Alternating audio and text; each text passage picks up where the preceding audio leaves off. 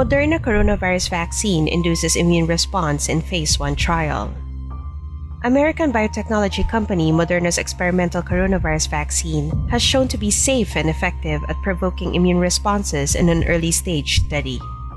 Researchers reported that all 45 healthy volunteers who received the vaccine developed immune responses to the virus. The study, which was published in the New England Journal of Medicine, details that volunteers who received two doses of the vaccine exhibited levels of antibodies even higher than those recorded in recovered COVID 19 patients. More than half of the study volunteers experienced mild or moderate side effects such as chills, muscle aches, pain at the injection site, fatigue, and headache. However, the volunteers never experienced serious side effects, and the side effects they did report were more likely to be experienced after the second dose of the vaccine and among those who received the highest dose. The world has been eagerly anticipating the release of a coronavirus vaccine. According to Express Pharma magazine, Moderna was the first company to start testing a potential coronavirus vaccine on humans in March, exactly 66 days after the genetic sequence of the novel coronavirus was released.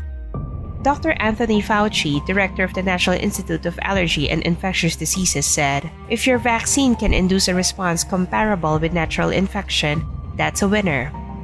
He is reportedly pleased by the results of the study, noting that it's good news. Moderna's experimental vaccine, mRNA-1273, is based on ribonucleic acid or RNA, which is a polymeric molecule that contains instructions for the creation of proteins. Once someone receives the vaccine, it instructs the body cells to make proteins that resemble the surface of the novel coronavirus. The human body reacts to these cells as a foreign invader and generates an immune response to protect itself. In the study, three groups with 15 volunteers each, age 18 to 55, received two shots of the vaccine 28 days apart. The groups received different doses of the vaccine, with the first receiving 25 micrograms, the second receiving 100 micrograms, and the third receiving 250 micrograms.